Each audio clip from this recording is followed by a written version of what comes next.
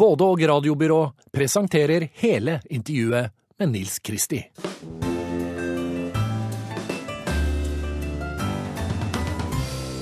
Da har vi fått besøk av Nils Kristi, som i en alder av 87 år er still going strong. God dag, god dag. Veldig hyggelig å ha deg her.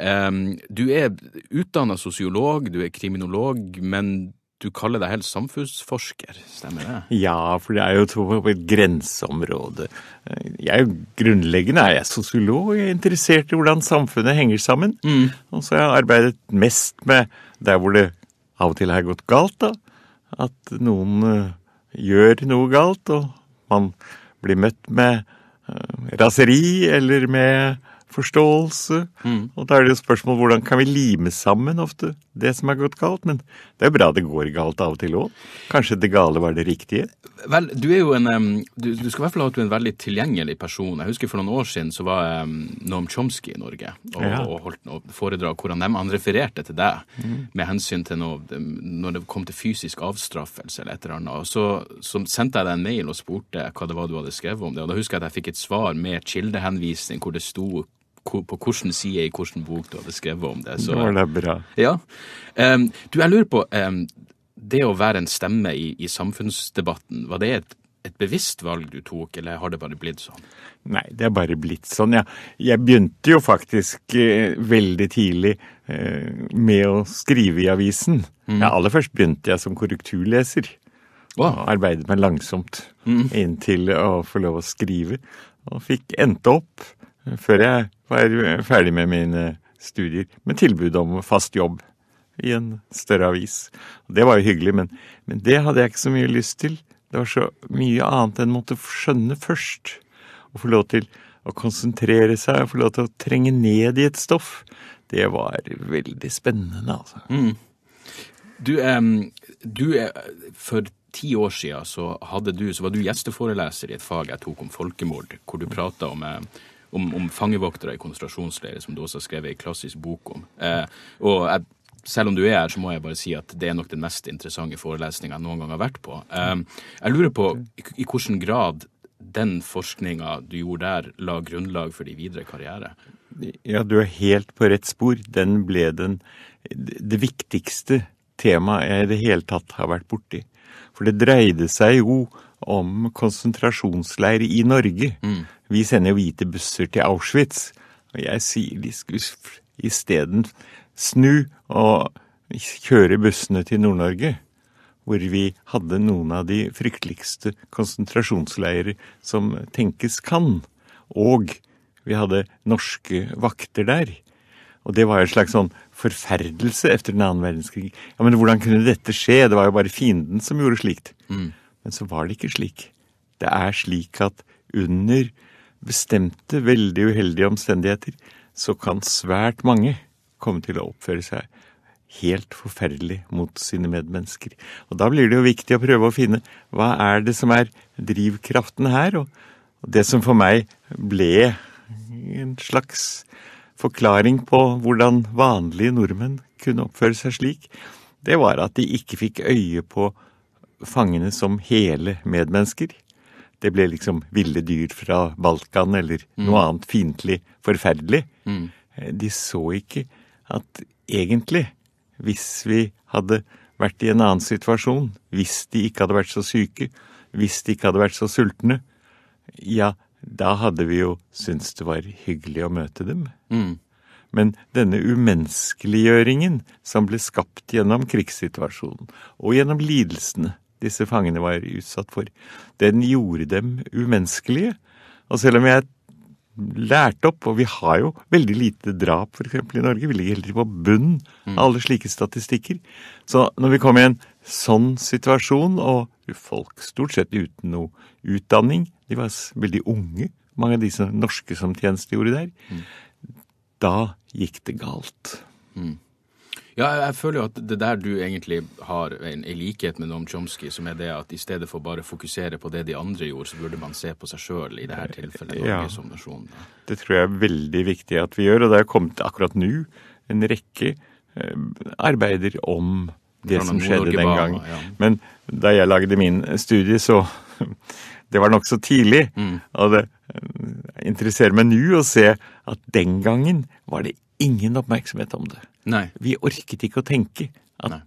dette kunne vi ha gjort. Det er bare fienden som gjør slikt. Nettopp. Men nå begynner vi å få bøker f.eks. om de russiske tvangsarbeiderne. Og om uh, Norges Statsbaner og Vegvesen og sånt. det ville sånt. satt togturene i perspektivet, så jeg hadde visst om de tingene litt tidligere. tror jeg. Ja, det er veldig, veldig viktig å huske på dette her. De, de som gjør dette, det kan være oss. Um, du er jo eh, kritisk til at universitetene i større og større grad drives som skole nå. Eh, hvor viktig var den friheten du hadde til å utforske dine egne interesser? i Den betød alt. Mm. Den betød alt. Det er derfor jeg er så forskrekket over at vi nå gjør universitetene så skoleaktige. Jeg liksom kom borti sosiologien med en lykkelig tilfeldighet og tenkte åh, dette er jo alt dette jeg gjerne vil vite noe om. Det var jo en fryd å gå og lete og lete og sette sammen eh, kunnskapen og forstå mer og mer sånn helt alene. Og heldigvis var det nesten ingen lærere. Og eh, jeg fikk lov til det. Og heldigvis hadde vi ingen eksamener vi skulle lese opp mot. Jeg hadde et par eksamener. Nå har de over 20, de som tar kriminologi og sosiologi. Og det er så viktig å beholde eh, universitetet som et sted for sånn fri, gledesfylt leting. Ja, Så du ser ikke nødvendigvis på begrepet evighetsstudent som noe negativt heller? Nei. Jeg har forstått hva som er galt i det. Vi burde jo aldri være evighetsstudenter. Ja, det er, det er helt enig i. Det er jo det vi må fortsette med. Og det å gå rundt i samfunnet for nå, nå kan jeg jo kalle meg da samfunnsforsker, men for alle. Det er jo et eventyr. Jeg måtte skrive for en tid siden noe om eh, fem bøker jeg var særlig glad i. Da prøvde jeg å si at den boken jeg er aller mest glad i, den er den som ikke er skrevet. Det er det du opplever. Altså, det sosiale drama når folk går på bussen. Hvordan ordner de seg? Hvem setter seg med hvem? Hva gjør de der? Eh, Og hele, hele tiden så er det opplevelser i å gå i gatene. Hvordan tror du det å ha vært For du har vel vært på juridisk fakultet, det der Ja. du har holdt til. Hvordan tror du det har påvirka ditt perspektiv på, på verden? Jeg har veldig stor eh, kjærlighet til juristene. Eh, De, for de vet jo også en god del om samfunnet. Og noe av det som er det fine med dem i forhold til mange universitetsutdannede samfunnsforskere, det er at juristene de må være nokså konkrete. For de må jo hele tiden prøve å snakke sånn at folk flest forstår det. Og ordene er veldig viktige. Jeg er en ihuga, jeg er en ivrig eh, dreper av fremmede ord. Ja, du, du skrev vel en bok som heter 'Små ord om store Ja. spørsmål', som, jeg- som jeg liker fordi det, det, det Ja, det er nettopp det. Du kan si ting på en forståelig måte. Ja, man må være konkret.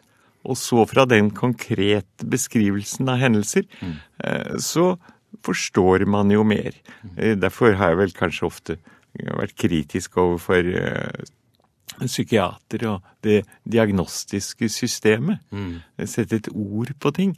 Det er ikke noe vi har så bruk for. Vi har bruk for at de isteden skrev små noveller om dem de prøvde å forstå. Så vi andre kunne få delta i forståelsen. Vi vet ikke noe med For ett ord, eller en psykopat Det er forferdelige ord. Du må jo få vite i detalj, da. Hva er det, hva er det med ham eller henne? Og kanskje det er noen trekk hos vedkommende som vi plutselig får øye på. Det var jo noe fint òg, da. Og kanskje det var noe å bygge videre på enn dette ene ordet som Eller et annet eh, som jeg virkelig er lite glad i. Monster. Hva er et monster? Han var ond. Det fins ikke noen onde mennesker. Det fins dårlige handlinger. Kan gjerne kalle dem onde. Men et menneske er jo så mye mer. Fylt av eh, andre ting. Kanskje man er glad i fugler. eh, Snill mot en del ting. Og fæl mot noen andre. Og så må vi se helheten. Og det er nettopp det disse fangevokterne i konsentrasjonsleirene ikke fikk muligheten til, da. Eh, De så det som de fikk vite fra eh, overkommandoen. De så noen villdyr fra Balkan. Best å holde avstand. De var jo så skidne òg. De hadde jo ikke noen vaskemuligheter, så det var ikke så rart. Nei. Eller de hadde ikke muligheter for å gå på do, så måtte de la det gå i buksa. Ellers så kunne de bli skutt hvis de satte seg ned i veikanten. Sånn at eh, vi må forstå situasjonen, og må prøve å trenge inn i hva var det nå egentlig. Ja, altså Konfliktløsning og straff er jo gjennomgangstema i mye av ditt virke. Um, så Kan du starte med å forklare hva som menes med, med gjenopprettende prosess? Det heter restorative justice på, på engelsk, som jeg i utgangspunktet likte litt bedre, men jeg er ikke helt sikker nå på kanskje den norske beskrivelsen. Ja, jeg liker best det norske med konfliktråd. Mm. Når mennesker er i konflikter, så kan man jo liksom fort overlate det til politi, til staten, og si at her, denne personen gjorde noe forferdelig.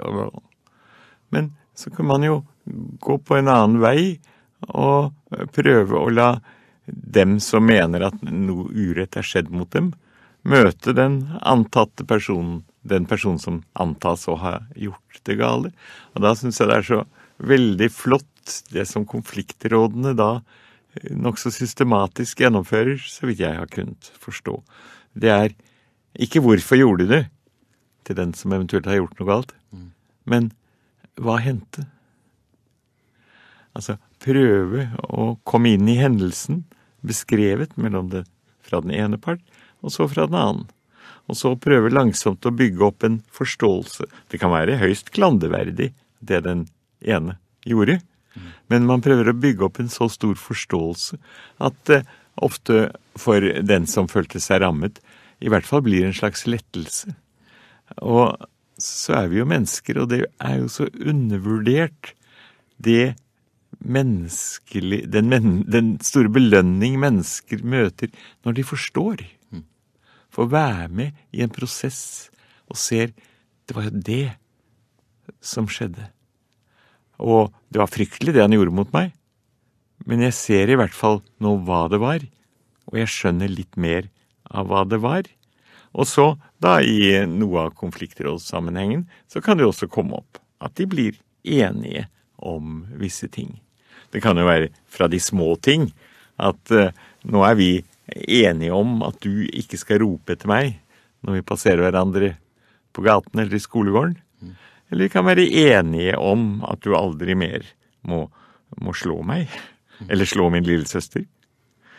Eller at du kommer og, reparerer noe som du har ødelagt. Mm. Ja, det, er- det som jeg syns er fascinerende med det her, er liksom det å ta bort staten som mellommann. Ja. Eh, og en av dine mest berømte artikler heter jo 'Konflikt som eiendom'. Så det er vel det du snakker om, at man skal ta eierskap i sin egen konflikt? Ja, i den grad man orker. Men det er jo klart at det er slitsomt òg. Det er greit å overlate hele den der greia til staten, og så fortsetter jeg mitt liv. Du har sagt at jurister stjeler konflikter. Ja, de er konflikttyver. Eh, på en måte. Uh, og derfor i konfliktrådene, der var det jo da veldig lenge slik at jurister hadde ikke, kunne ikke sitte som rådsmedlemmer. For dette skulle være, skulle være noen rettslig prosess. Dette skulle være noe helt annet. Det skulle være en oppbygging av forståelse. Det var viktig. Og det, og det skulle være et legmannsorgan. Og det blir jo så viktig, og det blir jo viktigere og viktigere dag for dag i våre samfunn. Det er så lite vi kan være med på. Det er så lite vi kan bestemme. Det er store, sentraliserte enheter, og større skal de bli, så ekspertene kan gjøre det. Mens jeg tror jo at det ut fra all mulig menneskelig erfaring er viktig å lage systemene så små som overhodet mulig, sånn at du får øye på den annen, og også at du føler deg kompetent til å gjøre noe. Vi kan jo ikke vente på en ekspert hver gang det er noe som slår krøll på seg. Vi må jo prøve å få til at vanlige mennesker kan eh, både få øye på det som skjer, og gjøre noe med det. Ja, Det som skiller konfliktrådet, i hvert fall sånn som det var, eh, fra en vanlig straffeprosess, er vel at, at skyldspørsmål, eller hva man skal kalle det, er, hendelsesforløpet er i hvert fall klarlagt på forhånd, er det ikke det? Ja, i hvert fall tilstrekkelig til at man antar at det er den som At det er noen hovedpersoner i konfliktene. Men så kan det jo rulles opp, selvfølgelig, under samtalen. At man er på galt spor. Ja vel. Så var da ikke den samtale derved forgjeves. Det kan ha vært en god samtale. Mm. Det var vel ikke helt tilfeldig at det var de to, eller kanskje flere, som satt der under eh, dette møtet.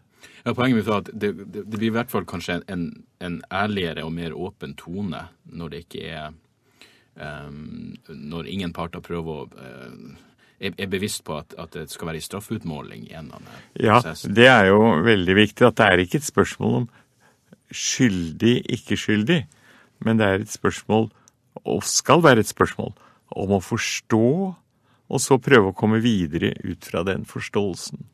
Jeg syns det er veldig interessant, sånn som jeg har hørt flere ganger fra folk som da er medlemmer av konfliktrådene og skal hjelpe til å få denne samtalen til å gå, hvordan de sier at etter vi har sittet en god stund der, eh, så blir jo folk kaffetørste. Og da går ofte vi som da har prøvd å ha en viss regi over samtalen, da går vi på kjøkkenet og lager kaffe. Eller hva de enn måtte eh, lage. Og i mellomtiden så vil jo partene, de som egentlig sto mot hverandre, eh, på egen hånd komme hverandre kanskje flere skritt nærmere. nærmere. Det er ikke det at det må ende i idyll. Det, eh, det er ikke eh, det som står som viktigst for meg, men at det er fint om de skjønner litt mer av hva som hendte. Det er eh, Det er veldig fint. Um, hvis man For det kan muligens virke abstrakt for noen, det her, men jeg leste at um, i etteroppgjøret etter Nokas-saken så ble konfliktråd faktisk brukt uh, mellom um, sønn til den drepte politimannen Ja. og, og sjumannen. Ja, og det tror jeg illustrerer veldig godt betydningen av eh, dette. At sønnen ville vite mer. Hvordan kunne du Hvordan kunne dette skje? Og også han som øh, skjøt, hadde et behov for å forklare seg. Mm. s- vår tidligere justisminister Storberget har skrevet en bok eh, som heter 'Det var dine øyne jeg så'. Og den er veldig eh, fint, det bildet han der tegner. Det var en, en bankansatt som ble ranet og bare så øynene til ransmannen. Og det hadde plaget henne sånn at hun ble arbeidsufør. Og så ble det brakt opp i lyset at hvem det var. Han ble dømt. Og han hørte han, Jeg husker ikke hvem som tok initiativet, men de møttes i fengselet. Og hun sier, når hun ser ham, ja, det var dine øyne jeg så. Men da så hun hele mannen, og så fikk de en samtale. Og så var hun ute av sin fortvilelse og sin angst. Nå var det jo et menneske hun hadde møtt. Det ble noe helt annet. Og det er vel det som er det sentrale. Å kunne møte hverandre som hele mennesker. Jeg, vet jo ikke like begrepene verken offer eller gjerningsperson, men akkurat i den saken så er det jo La oss kalle det for klarhets skyld at det var et offer og en gjerningsperson. Ja, Men, ja. men poenget her blir vel at det her skal virke rehabiliterende for begge parter. Ja, om det, om det virker slik, det vet ikke jeg. Nei. Men eh, ifølge den beskrivelsen vi får her, så var det i hvert fall en enorm lettelse for hun som ble ranet. At hun nå fikk det hele. Fikk se ham og skjønte at hun var i hvert fall ferdig med ham som en fare for sitt liv. Og jeg tror det, det, det står beskrevet, og for ham var det en betydelig lettelse å kunne bidra til å lette Ja. noe for henne. Og øh, det er klart at de fleste gjerning, De som har gjort noe dumt, øh, de vil jo stort sett være glade over at det dumme de har gjort, øh, ikke skader andre i altfor stor grad. Og, og gjenopprette dette. Gjennom fjerne noe av grunnlaget for angsten. Så du kan se for deg at, at uh, denne typen møter, konfrontasjoner, hva man kan kalle det, også kan ha For jeg bare lurer på om, om, om anger er et, et, en nødvendig utgangspunkt for et konfliktråd i, i, denne type tilfeller. Altså at, at gjerningspersonen angrer på det han har gjort, og i hvert fall er villig til å prøve å hjelpe.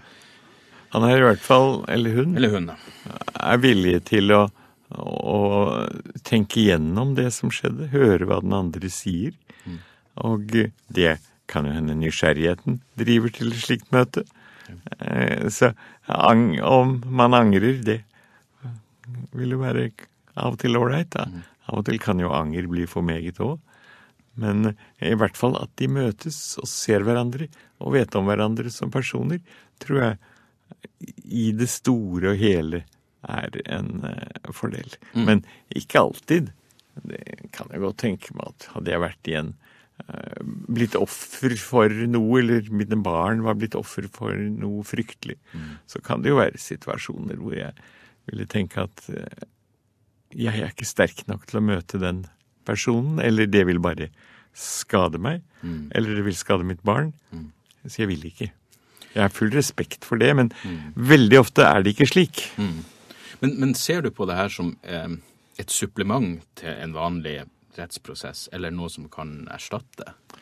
Ja, det er litt forskjellig. Mm. Eh, Jeg syns jo det er veldig fint med dette vi Vi har jo en ordning med påtaleunnlatelse, hvor man er forsiktig med å bringe strafferetten inn, og at det da ikke bare er piff påtaleunnlatelse, men at det er i form av et menneskemøte, det syns jeg eh, lyder helt rimelig, og noe man virkelig skal eh, oppmuntre til. Men eh, det er klart også at det er saker som er slik at vi som et samfunn ikke kan bare la det gå hen. Nei. Så jeg må jo bare bøye meg for det, at det er noen eh, straffekrav som gjør seg gjeldende. Selv tilhører jeg jo dem som vil ha minst mulig av det. Altså straff. Det er jo den klassiske definisjonen er det er et tilsiktet ondepåførelse. Og da er det jo ganske eh, vanskelig i en velferdsstat som vår. Eh, Jeg har nettopp skrevet litt om dette her. Hvis fru Justitia, det er hun som står der eh, utenfor rettsbygningene, hvis hun sto utenfor fengselsdørene og så dem som kom ut, så ville hun jo se at det var ikke akkurat et representativt utvalg, utvalg av nordmenn som kom ut. Det er fattigfolk som kommer ut. Og dem skal, har vi da måttet pine ekstra. Kan du se for deg at straff har noen Kan du se for deg situasjoner hvor straff faktisk har en funksjon? Ja, det kan jeg. Eh, Det kan jo hende de det kan, Hvis en person har gjort helt forferdelige ting mot uh, grupper fra en, av en annen tilhørighet, eh, så må det et eller annet symbolsk oppgjør til for at man skal kunne falle til ro. Det er jo nesten ufattelig hva du hører fra enkelte afrikanske stater, at de klarer å få til dette ved hjelp av nabolands eh, nabodomstoler. Naboene kommer sammen, og hvis vedkommende forteller ordentlig hva han har gjort, så sier de ok, og så står de på jordet sammen eh, året efter. Eh, Selv om han hadde drept eh, barnet. Det er, det er nesten utenfor vår forestillingsverden, men, Ja. men det, det går tydeligvis an i noen sammenhenger. Og det er jo et høyt ideal, da, om å vende det annet kinn til. Ja, jeg, jeg leste at, at hele det begrepet med gjenopprettende prosess eh, Stemmer det at, at det er inspirert av noe som heter maori-kulturen i New Zealand? I hvert fall at de var Ja, jeg har også lest dette, men jeg er ikke, noen, jeg er ikke noe god på det. Ja, ok. Du, ehm, jeg liker som sagt veldig godt hele den ideen om å ta, om å ta eierskap til sine egne konflikter. Tror du nordmenn er konfliktsky? Jeg tror jo i den utstrekning vi har en tradisjon at vi levde i småsamfunn, så var vi jo eh, glade om denne konflikten kunne bli løst på en slik måte at den ikke spredde seg. At det ble eh, skapt vondt blod i hele det lille systemet. Det er en klassisk eh, skildring av noe lignende fra Grønland, som en gammel rettssosiolog derfra eh, foreleste om en gang. Det var en kar som hadde gått opp i fjellene, og så så han en annen fra landsbyen langt, langt borte, men han hadde kikkert, og så at den andre stjal fra de nøddepotene som finnes rundt. Og det er jo virkelig en synd. Så han gikk ned og fortalte i landsbyen dette. Og det ble jo da en eh, stor sak. Og han som hadde stjålet, forlot landsbyen. Det var jo fatalt, for han var en av de beste fangere. Så eh, mannen som sto for rettferd og alt, han ødela hele det fangersamfunnet. Jeg husker ikke nå om han måtte også forlate det. Men det er jo visse ting vi er nødt til å leve med. Um, jeg, jeg leste faktisk i, Det er sikkert mange som, som kan høre en sånn her samtale og tenke at, at, det muligens virker, virker naivt, men jeg leste at i, i, i Texas, mm. som ikke akkurat er kjent for å være den mest liberale staten, så, så har de um, eh, altså gjenta Raten av folk som, som begår nye forbrytelser når de slipper ut igjen, ligger på ca. 30 Eh, For fanger som har vært igjennom en prosess med restorative justice, er det nede i 12 mm. Så det her kan jo ha en, en, en konkret effekt også. Ja, det er det flere studier som viser. At de som har vært gjennom øh, denne konfliktløsningsprosessen, har betydelig mindre tilbakefall enn øh, andre. De har sett noe, forstått noe, og kan gå ut derfra med en noenlunde øh, oppreist gange. I fjor så skrev du en kronikk i Klassekampen som het 'Farvel til konfliktrådet'. Hva er det som har skjedd? Ja, det lever nå ennå. Men det er en sånn klassisk utvikling i at eh, det farligste for et sosialt arrangement er om det er fylt av suksess. Det har gått så bra, disse konfliktrådene.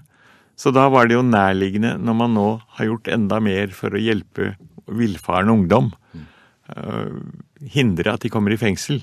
De skal gjøres noe med dem ute i det fri. Og så overlater man den å gjøre noe med dem ute i det fri til konfliktrådene. Altså konfliktrådene får makt. Blir en del av straffesystemet? Ja, de gjør det. Og makt er en farlig ting for et slikt organ. Så jeg syns det er fryktelig uheldig. Det er farlig på den måten at de som kommer der, vet jo at min skjebne er avhengig av hva de bestemmer. Det er ikke helt lett å kombinere det med en fri tale. Og dessuten eh, så makt Ja, vi må jo ha noen eksperter, da. Og så sildrer de inn i konfliktrådene. De er sikkert veldig ålreite. Det er ikke det Jeg har intet imot dem. Annet enn at det er en fare da for legmannsprinsippet i dette organet. Her skulle det sitte vanlige folk og hjelpe andre vanlige folk, eller uvanlige folk, til å møtes. Og så kommer det inn en ekspert, og vi vet jo hvordan vi er, de fleste av oss. Når en ekspert på et eller annet vi er opptatt av, kommer inn i rommet, vi blir litt nokså tause. Og lytter mer ærbødig enn vi kanskje burde. Ja. Og så er det også sånn at, at eh, hele, hele grunnideen med konfliktrådet var vel at, at, at det såkalte offeret skal være en del av det, men det er vel Det er også minket svært. Og da kan du igjen risikere at du får en mellomperson mellom gjerningsperson og offer. Ja, og at rettspersonell også slipper inn i systemet. Og jeg tror dette er uheldig. Det burde ligget under friomsorgen. Og jeg prøver da så godt jeg kan å, å beskytte konfliktrådene mot dette. Men det er, fa det er vanskelig. Jeg forstår godt at de ledende i konfliktrådet syns dette var fint. Da får vi enda en oppgave, og eh, vi blir enda viktigere. Men eh, jeg mener å ta den oppgaven kan føre til at man blir uviktigere. Ja, du ble jo anklagd for å, for å være gammeldags etter den kronikken, men er det jeg. måten du forsvarte det ordet på? Det er ikke bestandig det er noe galt med å være gammeldags. Nei, det er ikke det. Og der er vi tilbake også litt til sånn eh, Jeg har skrevet en liten bok som heter 'Hvor tett et samfunn'. Tilbake til dette grunnleggende. Kan vi få til eh, samfunnsformer hvor eh, de andres voktende øyne Det er slitsomt, det. Deilig å slippe det. Reise til den anonyme byen. Men det er jo også noe fint i at andre ser deg, eh, på godt og vondt. Og vi har jo Det er mange eh, kystnære Ja, det er mange steder rundt om i Norge hvor det var innlysende for beboerne at det var viktig å ha et godt forhold til sine naboer. Det kunne bli storm, eh, det kunne bli uvær, det kunne bli kyr som var borte, eller som vi hørte i eh, ny, nyheten i, i dag morges, det kunne bli litt mye ulv på tunet. Eh, Det er viktig å ha noen andre rundt seg som er tilstrekkelig har tilstrekkelig respekt for en til at man kan gå til dem. Ja, det, akkurat det der er jo veldig personlig veldig glad i, i privatliv og det å kunne være for meg sjøl, men eh, jeg bodde før sånn at på en plass hvor vi vi visste nesten ikke navnet på naboen. Og der vi bor nå, så er det så mange Man vet hvem naboene er. Det er så mange som er i den samme livssituasjonen i forhold til barn i samme alder. Og akkurat det der å bare kunne hjelpe hverandre, det, det, det, det hjelper på den mentale helsa også. virkelig. Ja, jeg er overbevist om at det er viktig, men det er vanskelig å få det til. da. Jeg bor jo nå da, altså i by, og, og det er klart at det er, det er noe dobbelt der. Man har arbeidsbelastningen, man har ting man vil lese og man vil gjøre, og man har sin egen familie et litt annet sted. Og da å få til eh, samvær i eh, det lille er vanskelig. Det er jo derfor jeg har forsøkt å agitere for at vi skulle ikke ha færre kommuner. Vi burde ha mange flere. Vi burde dele opp Oslo i småbiter med selvstyre. Og det burde bli så krevende at det virkelig var noe å gå inn i. Det er en kar jeg har vært glad i bestandig i sosiologien. George Casper Homans heter han. En gammel marineoffiser av en røst som kunne trenge gjennom stormen, for jeg hørte ham forelese. Han beskriver hvordan et sånt by, lite bysamfunn ble ødelagt da den ble en soveby. Før var det viktig å være til stede, for det kunne jo naboene bestemme noe galt. Mm. Men nå var de blitt en del av noe større, og det sovnet hen. Og du visste ikke hvem den andre var. Men det er klart, du slipper en del fælt også. Hvis det er noe galt med deg, da, eller har vært noe galt med deg, så vil det ikke være noen som vet om det. Du kan gå nokså fritt og glad omkring, for det er ingen som kjenner deg. Eller så på et bare, Som jeg har nevnt i flere sammenhenger, et postkort. Jeg tror det var min kone som fant det eh, i Tyskland en gang. Det er to damer de står foran hvert sitt lille hus i et, litt, i et nabolag, tydeligvis, og snakker med hverandre, og de sier ja, Gud ser alt, men naboer ser mer. Det er klart, der ligger det en tvang, og eh, deilig å komme vekk fra det. Mange har vært glad for det. Mm. Ja. ja, nei, det, det er noe med det, det upersonlige også som, som appellerer til meg. Men, men det er liksom, det er det jeg føler når jeg prater med deg sånn generelt, er at jeg har, jeg har så mye motstridende tanker. For på den ene sida så, ja, jeg, jeg verdsetter privatlivet veldig mye. Samtidig ser jeg absolutt verdien eh, av, å, av å være sosial. Men kan jeg spørre deg tilbake til straff, hva er ditt syn på hevn? For jeg kjenner at jeg er et veldig Jeg tror mine hevnimpulser er ganske sterke. Og jeg tenker ofte at hvis noen gjorde noe med kona mi, med sønnen min, så ville jeg hatt hevn. Og hvis det er det jeg ville hatt i en sånn situasjon, er det ikke da det jeg egentlig mener? Burde ikke det kunne generaliseres? Ja, der er vi eh, vel forskjellige, da. Mm, ja. Og eh, jeg har ikke noe godt eh, svar om det, annet enn at jeg ville jo tro hvis du traff den som hadde gjort det ferdig, Mm, og fikk snakket lenge med vedkommende, eller sett hans liv, kanskje sett hans nærmeste, skjønt mer, at det ble, det ble i seg selv en viktigere ting enn å eh, utøve pine mm. overfor den andre. Vi må jo huske på noe hele tiden når vi snakker om straff, som jeg var inne på et sted. Det er en tilsiktet ondepåførelse. mm, Eh, Vi, vi er jævlig mot noen med vilje. Mm. Men det er ikke noe Ja, det er ikke etisk så veldig høyverdig, det vet vi jo alle. Men eh, det kan hende det ga mer glede allikevel, hvis vi setter henne her og fors- fortell meg hva er det? Og hvorfor er vi sånn? Og eh, hvis noen er sure på en veldig ofte, kan vi ikke heller prate om det? Hva er det? Men, altså, men, men hevn er åpenbart en, en, en, en naturlig impuls, men du mener at det er noe vi burde Kanskje ikke undertrykke det rette ordet, men komme oss videre fra? Dette blir jo et sånn dypt verdispørsmål, Mm. det da. Og eh, personlig så vil jeg jo Jeg er selvfølgelig rasende på eh, en del forhold, og eh, også, ja, i hvert fall ikke eh, hjertens begeistret for en del eh, personer. Men jeg må nok si jeg prøver å holde det i sjakk eh, så godt jeg kan. Og, og akkurat her er vel liksom Bibelens ord også eh, vel verdt å lytte til dette med det andre kinnet. Ja, men jeg syns øye for øye hadde, hadde, noe for seg i den forstand av at det, det handler om proporsjonalitet. Øye for øye blir ofte sett på som en sånn barbarisk Ja, jeg er enig i det. Det er proporsjonalitet. Men eh, da kunne man jo prøve å gå over til en annen måleskala. Mm. Enn å akkurat bruke det. Og det er jo noen som har brukt dette her nå. De har laget noe som heter um, sentencing tables. var det en amerikaner som var så opptatt av Andrew von Hirsch at han så det skulle være, når du hadde gjort det, så skulle du pines sånn. Mm. Mm. Men det er jo aldri de samme menneskene. Og det var dessuten så farlig, for da kunne politikere som liksom har fylt av raseri inni seg, de kunne da agitere for nei, vi skal ikke være sånn, vi må doble. Ja. Mens vi hadde jo en Og vi har jo vært fæle i dette landet. Vi, hadde jo, vi drev jo med å kutte fingre av folk og raspe dem opp gjennom hånden. Mm. Og uh, piske dem.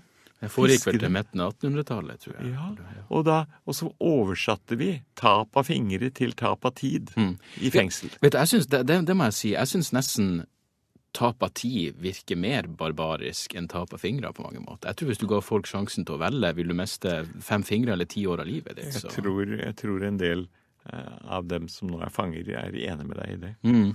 Jeg, jeg, leste en veldig interessant i, i, Iran, som jeg ikke har så veldig mye til overs for når det kommer til menneskerettigheter, så har de jo dødsstraff.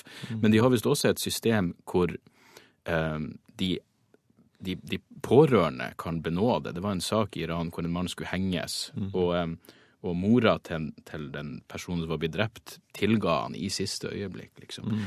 Og for meg så virker det som om hvis du først skulle ha dødsstraff, så, så liker jeg Det blir igjen på en måte det at du fjerner mellomperson her, liksom. Mm. Staten skal ikke være mellomperson. Hvis du virkelig vil ha dødsstraff for en person som, som pårørende, så burde du være en del av den prosessen direkte. Det er jo en studie, flere studier nå eh, med utgangspunkt i en dansk forsker som heter Flemming Balvig, som har De spør befolkningen er straffene strenge nok?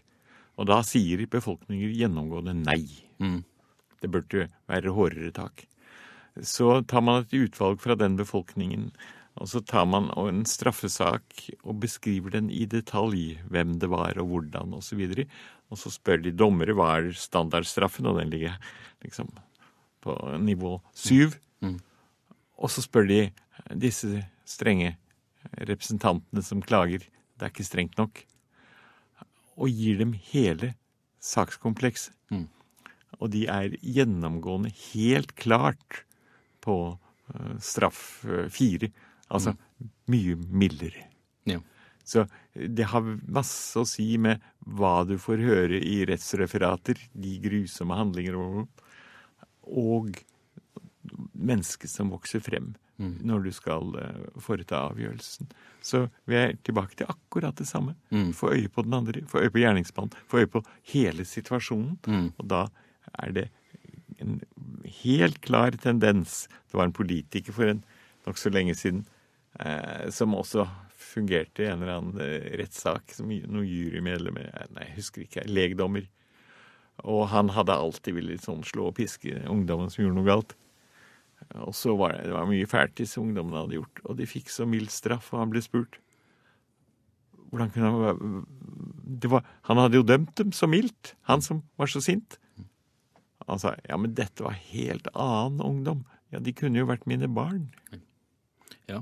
ja nei, altså, Det jeg liker så godt med, med, med, med, dine refleksjoner rundt det her, er liksom at det er radikalt i ordets beste forstand. Altså Det handler om å gå til bunnen av problemet. Oh, hyggelig du sier det. Ja, men, men samtidig det, jeg, jeg, tror bare i mitt sinn så er det liksom Jeg har så mye sympati for det synspunktet at man må prøve å forstå best mulig hvorfor noe skjedde. Samtidig så klarer jeg ikke å, å, å komme unna det at jeg syns noen kan gjøre noe som er så grufullt at du på en måte har sagt ifra deg retten til å det å eksistere sammen med andre mennesker. Altså, det, det, ta, du, jeg mener, du, du, har jo skrevet om, om forbrytelser under andre verdenskrig. Da, da mm. konsentrasjonsleiren ble frigjort, så var det jo ikke uvanlig at de allierte lot fangene gå løs på fangevokterne sine. Det er vel ganske forståelig under Ja, det er, er jo det, men det var jo et sivilisatorisk sammenbrudd. Ja. Og veldig fint at det skjedde i noe mer velordnede former. Selv om også det var skrøpelig. Jeg syns jo f.eks. i rettsoppgjøret i Tyskland at eh, det var ganske betenkelig hvordan dommerstanden var beskyttet mm. mot et oppgjør etter den annen verdenskrig. De som altså hadde sendt folk til ulykken, eh, konsentrasjonsleirer og annet, mm. som allikevel fortsatte å fungere. Men, og da har jeg lyst på å si også Man skal ikke liksom overvurdere betydningen av høy rettslig utdannelse. Eller høy utdannelse på annen måte. Mm. Konsentrasjonsleirene hadde også sine leger som uh, ivaretok uh, vanlige helsestandarder, antok man. Eller de som besluttet den store utryddelsen. Det var en stor gruppe akademikere blant dem og som begrunnet forferdelighetene. Så det er så viktig å prøve å bidra til en slags ydmykhet i å se at det er noen grunnverdier som må beskyttes i alt. Mm. Ja, Det er jo interessant med, med det rettsoppgjøret, så måtte de jo definere krigsforbrytelser som noe som de allierte ikke hadde gjort, men som ja. den andre sida hadde gjort. Det var, det var så mye som begge sidene hadde gjort. Som... Det var jo forferdelig. Ja, til å begynne med var jeg tenkte jeg det var jo flott med Nürnberg-domstolen og alt det der der, inntil jeg begynte å tenke hvem er det som sitter her som dommere? Mm. Og det var på det tidspunkt russere. Eh, altså, det var Gulagene var på sitt høyeste akkurat på den tiden. Mm. Det var amerikanere som hadde sluppet atombomben uh, like før. Det var engelskmenn som hadde brent av uh, tyske byer. Uh, det var vel Dresen jeg tenker på. Mm, ja. Og det var så mange sånne forferdeligheter som kom inn. Men det var kanskje et nødvendig skritt likevel. Mm. Tror du at alle i prinsippet kan rehabiliteres? Vi snakka om psykopater tidligere. Det er vel ingen tvil om at noen må holdes unna samfunnet for samfunnets beste, altså. Det må beskyttes både mot seg sjøl og Ja, det kan godt hende. Men vår vanskelighet er å finne hvem. Mm. Jeg, vel, jeg vil jo si Breivik er et klassisk eksempel. Du fikk jo du fikk kritikk for at du sa at Jeg vet ikke om du fortsatt står inne for det, men du sa at du i prinsippet håper at Breivik kan reintegreres i samfunnet? Ja, når han er gjennom denne prosedyren. Mm. Han er nå midt oppi, etter mange, mange år. Og hvis han da finnes å ikke være farlig for dette samfunnet, mm. så mener jeg jo at vi må forsøke det også med ham. På den annen side eh, så har jeg eh, ikke vært eh, noen tilhenger av at han skal få fritt leide til eh, å sende ut sin mail til en hjelperflokk. Mm. Han skal ikke få sitte der i fengselet og organisere en ny nazibevegelse i Norge. Nei, Særlig ikke siden, det virker som om det var en del av strategien i utgangspunktet. Så det er jo på en ja. måte en del av, av ugjerninga hans. Ja, det kan, kan, du godt si. I hvert fall er han Eh, misfornøyd med at han ikke og, og, liberale krefter sier han må jo få skrive bøker og mm. må, jo få, eh, må, jo få, samtale ut med andre mennesker, han som andre. Det syns jeg ikke. Nei, det, akkurat i den rettssaken, det, det var en del av meg som følte meg Det var det nærmeste jeg kom et slags nærmest patriotisk øyeblikk hvor jeg var stolt over at man på en måte klarte å holde hodet kaldt og behandle han som en hvordan som helst annen kriminell. Men samtidig følte jeg liksom ja, de, de hevnimpulsene som, som, så mange må ha mm. følt Det var, det var en, en, kar som husker du, han kasta en sko på Breivik under ja. rettssaken. Jeg følte at det var et av de mest menneskelige øyeblikkene, for det var så symbolsk på det som bobla under overflata. Ja. Samtidig, jeg vet ikke om det var den samme dag, så sang de jo denne en kjempedemonstrasjon. Mm. Med Barna Regnbuen, tenker du på? Barna Regnbuen, mm. ja. Alt det som Breivik hatet, mm. Møttes med tusenvis. Jeg var veldig veldig stolt over eh, hvordan det norske eh, styringsverket reagerte umiddelbart etter eh, uretten. Ja. Mm. Og rosetog og alt dette. Jeg, jeg syns da Da var Norge virkelig på sitt beste. Men jeg, jeg, tenker på i forhold til med, med snakk om å reintegrere han i samfunnet. I boka en, en, passende mengde kriminalitet' så tar du for deg Baneheia-saken, og, og du, du, du, spekulerer i hva om de, de etterlatte hadde tilgitt eh, gjerningspersonene. Hvem syns du La oss da si at et flertall av de etterlatte sa at vi syns ikke Breivik noen gang burde slippe fri. Hvor, hvor tungt burde det veie i forhold til Er, er det ikke de som egentlig den, burde ha den, den, tyngste moralske vekta i et sånt her spørsmål? Nei, det syns jeg ikke. Vi har et lovverk etablert gjennom uh, uendelig mengde av, av rettslige avgjørelser og diskusjoner i våre lovgivende organ om hvordan vi skal gjøre det.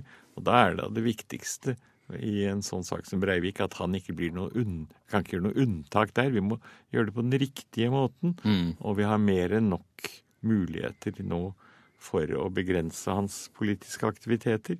Og noe utover det når, Hvilke krenkelser skulle eh, vi da holde utenom mm. eh, offerets bestemmelser? Nei, her er det viktig å holde fast ved rettsstatens grunnleggende eh, prinsipper, og ikke lage noe sånn ekstra krøll. Du, eh, du, du liker jo å poengtere at, at, det finnes ikke onde eh, Det er ingen mennesker som er onde, men de kan gjøre onde handlinger. Mm. Gjelder det på andre sida også Vil du si mennesket er godt, eller vil du si mennesket gjør gode handlinger også? Ja, de gjør gode og dårlige handlinger. Det er altfor store kategorier til liksom å plassere eh, folk i det. Vi får være glad at, at i veldig stor utstrekning så tar man hensyn til hverandre. Særlig når man Da er vi tilbake. Særlig når man får øye på den andre som et medmenneske, eller ser på den totale situasjonen den andre lever i. Men jeg, jeg har jo ikke noe sånn Jeg har ikke noe moralsk autoritet. Jeg bare prøver å si rent sånn sosiologisk så må vi passe oss for i rare, dette rare samfunnet vi lever i, som aldri har eksistert før i verdenshistorien, så må vi prøve å hegne Heter det hegne om? Hegne om, ja. Hegne om eh, noen grunnleggende verdier. De har eksistert bestandig. Og de har jo vist seg å være eh, ganske ålreite. Er er det noen innvendinger mot konfliktråd og gjenopprettende prosesser som, si, som holder deg våken om natta? Nei, overhodet ikke. Det som eh, kunne holde meg våken, var at det ikke ble anvendt mer. Eller eh, Jeg tok den visst med meg, men la den fra meg et sted her. Eh, eksempel i skolesamfunnet, hvor du ser eh, alle de som nå kommer opp og sier de ble mobbet, mm. eller de ble ikke bra behandlet. Og jeg ser det sykler ofte en vei og på en tid hvor flere skoler slutter. Og jeg ser mange av de konfliktene som ungdommer er i. For et par dager siden var det en uh, gutt som ropte til en annen ha, tror du du kan vinne venner ved å kjøpe dem? Og så gikk han. Og jeg hadde, lyst, jeg hadde, ikke tid, for jeg skulle forelese. Men jeg hadde så lyst til å stoppe ham og stoppe den andre. Mm. De gikk hver sin vei og prøve å få det til en samtale om det. Det er klart Han som eventuelt ble mistenkt for å kjøpe venner, han var vel i en fortvilt situasjon. Mm. Men han andre burde ikke ha skreket på en sånn måte. Fint hvis de Det burde jo bli sko, et av skolens sentrale temaer. Mm. Hvordan tar vi vare på konflikter i skolesamfunnet? Det er nettopp kommet en liten bok om det, og den gleder jeg meg til å lese. Ja, altså du er blitt 87 år, og jeg, jeg, jeg, du har åpenbart klart å bevare både, både idealismen og, og, og, truen på det, det, gode i mennesket, for å si det på en banal måte, til tross for at du kontinuerlig har konfrontert all slags grusomheter. ja, men jeg møter jo så mange ålreite folk hele veien. Det er det, ja. Mm. Det er det som er hemmeligheten, kanskje. Ja, jeg tror det. Mm. Jeg møter, har aldri møtt et monster. Jeg har ikke møtt noen som jeg ikke syns det var mulig å å ha en eh, vanlig samtale med. Eh, så det er ikke noe vanskelig, det. Det er bare å prøve å se hvem var den andre. Jeg stilte det her avslutningsspørsmålet til Arne Johan Vetlesen, og han svarte at han var drittlei spørsmålet. Men jeg våger meg igjen. Um, er du en optimist med hensyn til fremtida, og har det en gang noe å si om du er optimist? Du ville vel gjort det samme uansett, kanskje? Ja, jeg ville gjort det samme. Men eh, jeg håper på én måte at uh, ombyggingen av samfunnet til stadig større enheter, er kommet så langt at mange ser det. Dette, slik kan vi ikke fortsette. Nå skal liksom politiet være i store kontorer, og du kan kunne nå dem, eller politiet skal kunne nå deg i løpet av 20 eller 30 minutter. Men politiet skal jo være der du er. I form av medmennesker som kjenner deg, og eventuelt en lensmann sånn som bor oppi øh, rett ved deg. Vi må jo ska, gjenskape nærhet. Og jeg tror denne, dette kravet til utvikling, det kommer til å bli komisk etter hvert. Vi må heller spørre hva var det som var fint i det gamle? Hvordan kan vi ta vare på det? Eh, uten at vi derved skal kaste alt eh, på båten. Eller for å ta det nå i dag på ny radioen, en studie av barnehavene. De har nesten ikke noe areal, så disse ungene får ikke utfolde seg. For bilene må ha arealer.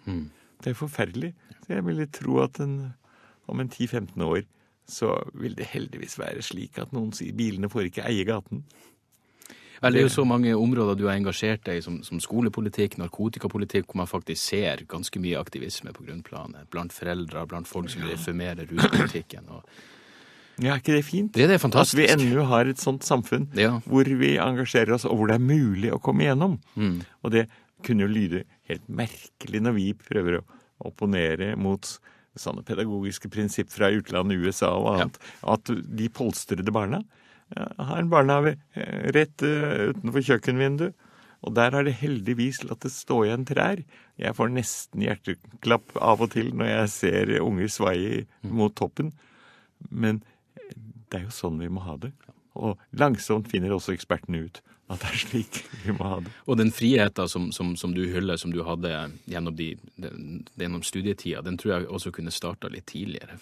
Det er jeg helt enig i. Og, og jeg skal holde noe foredrag i, i morgen jeg, er på en skolesamfunn, en skolesammenheng.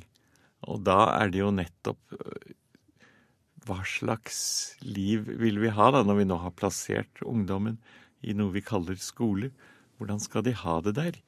Eh, Skal de lære et fast pensum, eller skulle vi prøve å få dem tilbake til en, den situasjonen som var min lykkesituasjon da jeg kom på universitetet? At jeg kunne hjelpes til å finne ut selv. Det er jo forferdelig mye viktigere enn at lærerne skal bli gode i matematikk. Og alle de tingene henger jo sammen også. Ja. Men det er vel den friheten som har gitt deg kompetanse til å prøve å se, som du sier, hele mennesket. Ja, jeg tror jeg var nok Jeg var kjempedum på skolen. Jeg Og jeg tror, ja vel. Og jeg tror det er veldig hjelpsomt, for da er man ikke helt indoktrinert.